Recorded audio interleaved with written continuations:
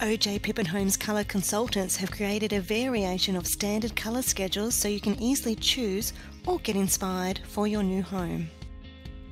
The first colour schedule is the charcoal external facade, consisting of black, grey and off-white colour palette. And the recommended internal colour schedule is the Glacier, which offers a crisp, clean feel throughout using black, grey and white tones.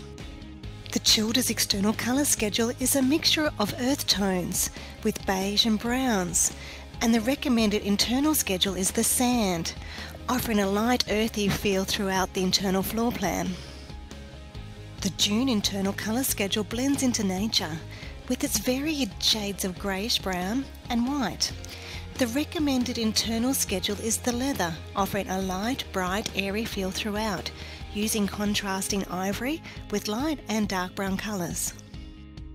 The Earth external colour schedule is inspired from the palette of the Earth, shown with varied shades of browns and creams. The recommended internal colour schedule is the Alpine, which has a light, bright and airy feel throughout with white and brown tones.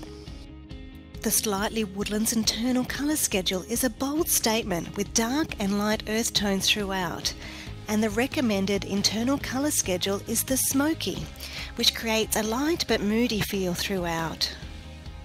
The Cloudy external colour schedule offers a fresh, clean approach using shades of grey and white.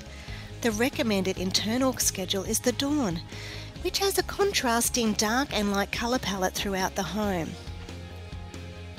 On the OJ Pippin Homes website, you can view more detailed description on each of the external and internal colour schedules click through to the Read More button at www.ojpippin.com.au slash colour dash schedules.